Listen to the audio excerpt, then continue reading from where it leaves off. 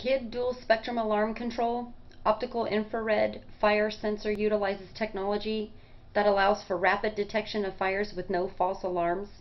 For use with the part number 421246 protection panel, intended for vehicle mounting, fire protection panel mounts in operator compartment, serves as a flame detector. Government Liquidation, the world's online marketplace for U.S. government surplus and scrap property. With thousands of